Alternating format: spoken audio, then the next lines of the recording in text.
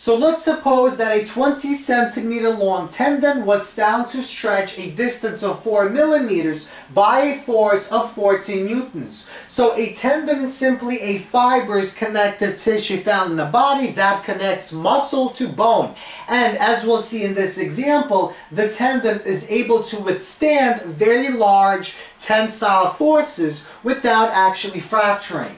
So, assuming the tendon was approximately circular and the diameter of the tendon is 9 millimeters, calculate Young's modulus under tensile stress.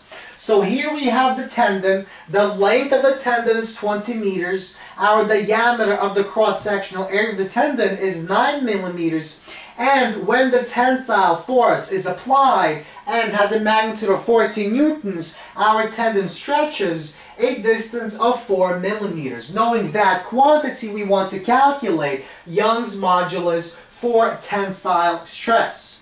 So we begin with this equation and we rearrange, we solve for E, where E is our uh, Young's modulus for the tendon. So E is equal to, well, we have stress over strain, so force per unit area divided by the ratio of our distances, the change in our distance, the elongation divided by the original length.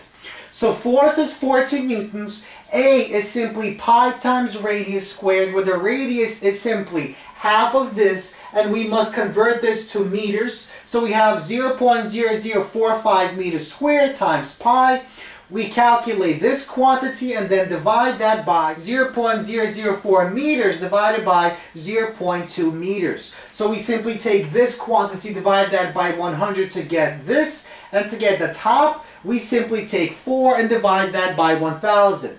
So now we calculate this and we get a value of 1.1 times 10 to the 7 newtons per meter squared is Young's modulus of our tendon.